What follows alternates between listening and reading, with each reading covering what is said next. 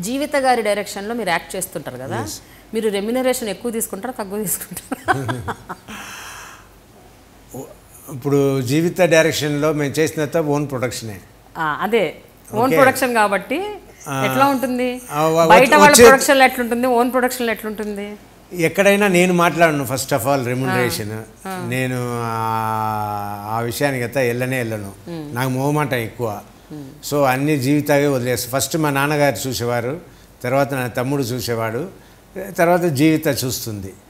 So నా నేను ఓ పైసా ఓ పది పై పది రూపాయలు వచ్చింది ఐదు రూపాయది ఇక్కడ రెండు రూపాయలు ఎక్కడ అని నేను లెక్క పెట్టిందే లేదు.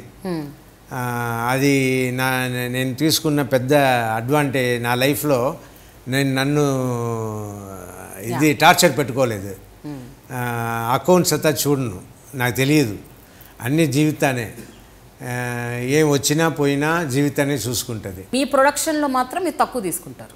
తక్కువ వేరే వాళ్ళ ప్రొడక్షన్లో కొంచెం ఎక్కువ తీసుకుంటారు అంతేనా? ఎలాగా? కాదా? కాదు కాదు కాదు. నా నా ప్రొడక్షన్లోనే నాకు తక్కువ వస్తాయి.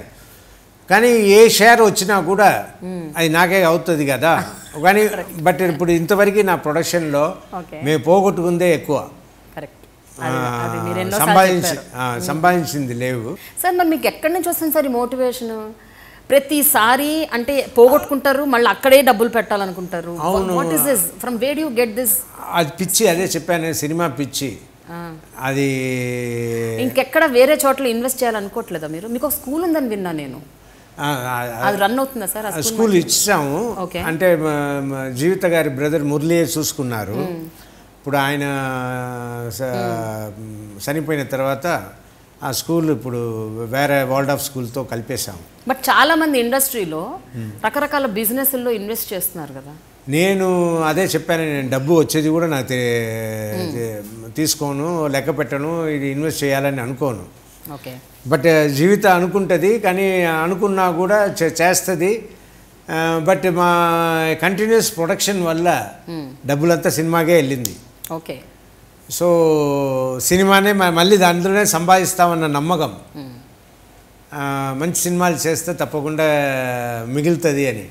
బట్ కొన్ని మంచి సినిమాలు చేసి కూడా మిగలకుండా ఆ ష్రూడ్నెస్ లేవు. మాకు సరిపోవద్దు బట్ మేము ఉన్నా కూడా మా నచ్చిన బ్రతుకు ఇదే. అదే మరీ ప్లెయిన్గా మరీ ఆనెస్ట్గా ఉంటే కూడా ఇదే ప్రాబ్లం కదా సార్? కదా? అవును. అవును.